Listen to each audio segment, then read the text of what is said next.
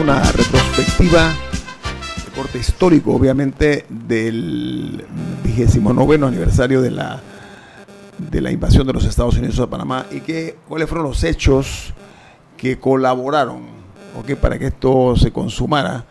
Eh, y para eso el profesor eh, Navas Pájaro ha tenido la amabilidad de venir a compartir con nosotros de una forma muy didáctica, por cierto, queremos llamar la atención sobre las personas que desconocen algunos eventos históricos que se en Panamá. Llegamos, eh, profesor Navas Pájaro, al brutal asesinato del, médico, del doctor Hugo Espadafora, que lo, es tal vez el, asesinato más vil y cobarde, pero además eso salvaje, porque a este profesional de la medicina eh, le cortaron la cabeza, lo decapitaron después de haberlo torturado brutalmente, de una forma nunca vista en Panamá y encontraron su cuerpo, pero no su cabeza. Es más, hoy, en el siglo XXI, nadie sabe dónde está la cabeza de Hugo Espadafora.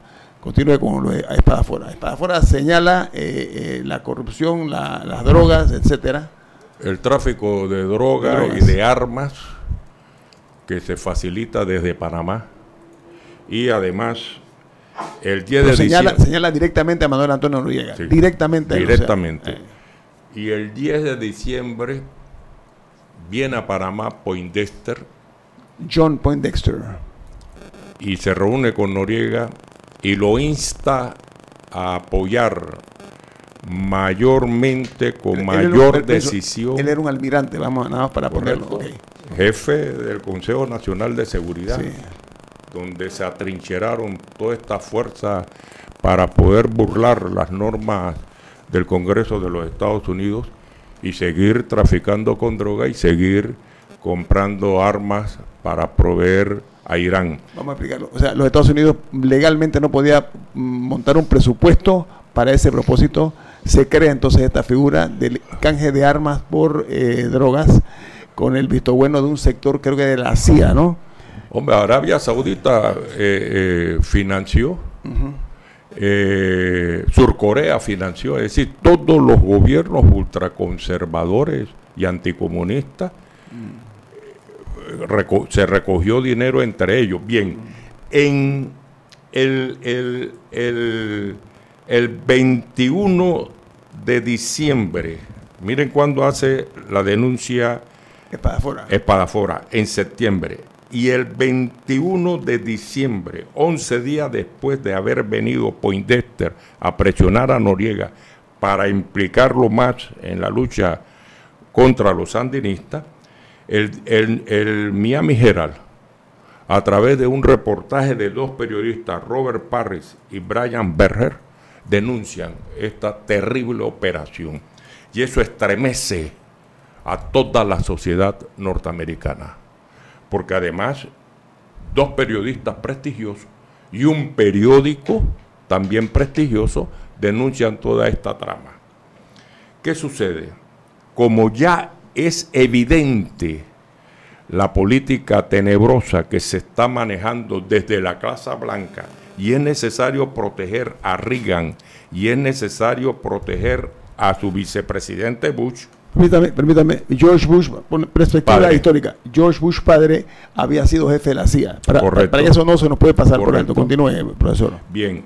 Y en junio de 1986 empieza el drama seriamente contra Manuel Antonio Noriega.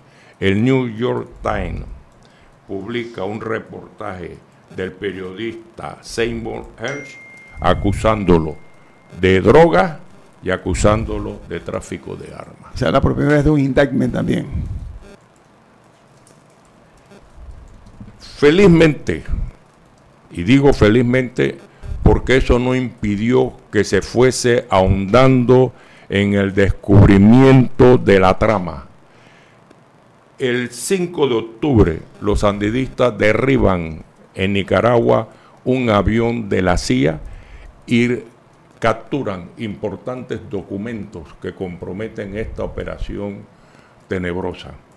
El 3 de noviembre, una revista libanesa denuncia la compleja red para suministrarle armas a Irán. Y el 15 de noviembre, el periódico español El País le entrega al mundo la información de la captura de dos diplomáticos estadounidenses con valijas cargadas con 5 millones de dólares para la compra de armas a Irán. Entonces, en medio de esa situación horrible, se produce en junio, 8 de junio, unas declaraciones del segundo jefe de las fuerzas de defensa, el coronel eh, Roberto, Díaz Herrera. Y en sus primeras declaraciones acusa a Noriega de tráfico de drogas y tráfico de armas. Y en sus segundas declaraciones denuncia el fraude. Esta segunda, el fraude de las elecciones del 1984. 1984. Esta segunda declaración, al mencionar el fraude, lo que hacía era incorporar una importante fuerza política como era la fuerza política de los panameñistas y por supuesto de la democracia cristiana.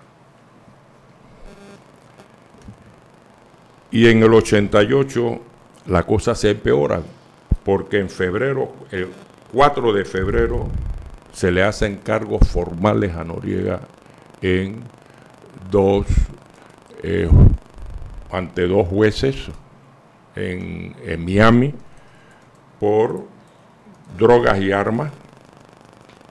Y el 25 de febrero el presidente Eric Arturo del Valle destituye a Noriega en marzo de ese mismo año, el coronel Macías se revela, es decir, fíjense cómo va a ir desencadenándose la, la lucha intestina en las fuerzas de defensa. Nombre Leonidas Macías. Leonidas Macías. En ese mismo año 88 se toman medidas muy duras contra los bancos, un país de servicio como nuestro.